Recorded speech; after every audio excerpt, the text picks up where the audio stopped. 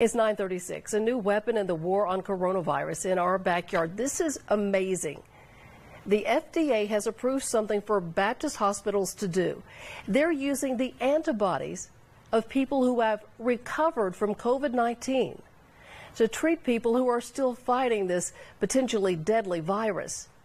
Infectious disease doctor Steven Threlkeld tells Fox 13 they got FDA approval on Tuesday he says they're already reaching out to patients who have recovered to see if they will help.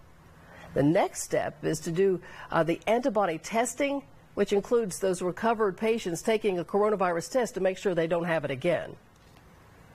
We certainly have some history giving antibodies that we know help fight this infection from someone who's recovered from it, and typically we would expect to have a high antibody titer in their blood and plasma. We give that to somebody who needs uh, who needs a better fight against this virus, and, and we hope that'll provide it. Yeah, and, and Baptist hospital staff say the first treatment could happen this week, which would be today or tomorrow, possibly.